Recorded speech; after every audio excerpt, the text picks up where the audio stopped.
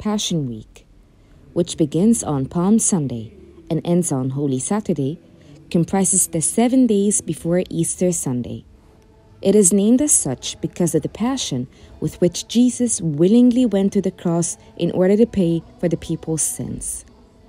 Passion Week contained several memorable events, and to help demonstrate those events and make them simpler to understand and relive, Christian youth engage in what they call an operette.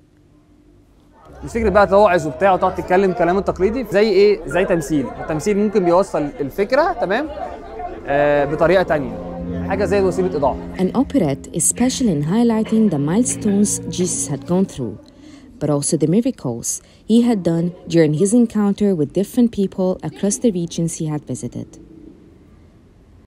أحلى حاجة فيها إنها عملت فوكس على ال- الشخصيات اللي ما كانتش أساسية قوي في حياة صليب والناس كتيرة مش مركزة عليها ودي اعلى حاجة فيها. وطبعا الكواير كان عامل يعني سبيريت حلوة مع التمثيل. التمثيل لوحده ما ينفعش والكواير لوحده ما ينفعش. فالاثنين لما عملوا ميكسينج مع بعض كان الموضوع حلو قوي الصراحة.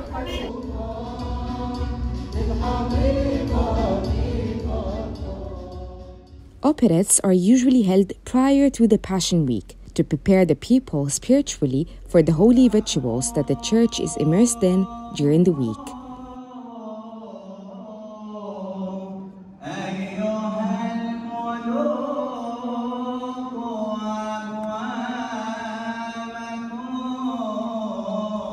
During that time, Christians in special ceremonies such as Palm Sunday and Holy Thursday commemorate the words and actions of Jesus in the final week before his crucifixion.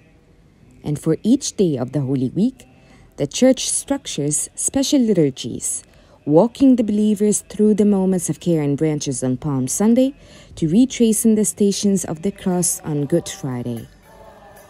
The route is often recontextualized as such to bring the Easter narrative of a cycle of pain and death, followed by the hope of resurrection, into present situations.